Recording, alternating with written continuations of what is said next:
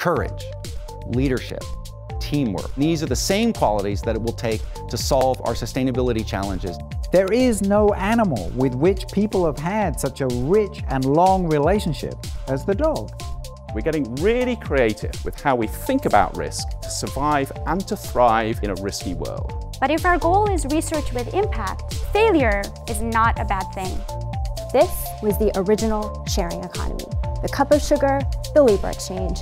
One of the new approaches is to collect a sample from the surface of a comet. Is it absolutely crazy to be able to spend the weekend on the moon before I retire? Psyche gives us a chance to visit inner space by visiting outer space. Amazing people, fantastic ideas, and phenomenal impact. That is what a knowledge enterprise is all about.